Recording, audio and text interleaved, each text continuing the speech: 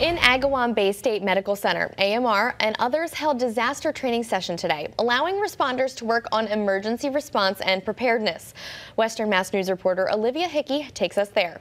A different sight at Six Flags New England Wednesday as over 100 people, including doctors, paramedics, and other responders, gathered for disaster response training. So they'll be responding to a building collapse. We'll have uh, different patients in various areas, and they'll have to triage the severity of the patient so that we're able to save the most amount of people um, in the smallest amount of time. American Medical Response Program Director Emily Chandler says it reminds first responders about the dangers that could come with a scene to themselves and their patients. You want to have that experience under your belt so that when you respond to an emergency of that magnitude, you're ready to sort of respond and react in the way that you need to. At Wednesday's event, people honed in on the skills needed to respond to a mass casualty. How to deal with like chest injuries, um, neurological injuries. Western Mass News spoke with members of AMR's Earn While You Learn EMT Academy, a program that hires full time students as they work to become EMTs in Springfield. They say trainings are essential learning tools for them, as they would be among the first people arriving to a scene. And unfortunately, in today's day and age, these are more common events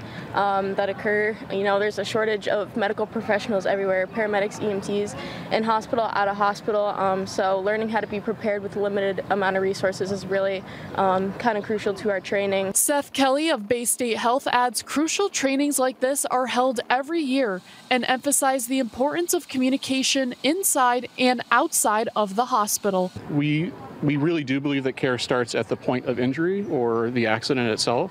Uh, and not only from how citizens respond to help each other, we work with our firefighters, EMTs, paramedics to develop that system of coordination that starts at the point of the accident or the event all the way through definitive care at the hospital. Reporting for Western Mass News, I'm Olivia Hickey. Thank you, Olivia. Officials at AMR add they're now taking applications for their Earn While You Learn EMT Academy. The next class begins on September 11th, and we will have information on the application available on westernmassnews.com. Click on the blue As Seen on TV button.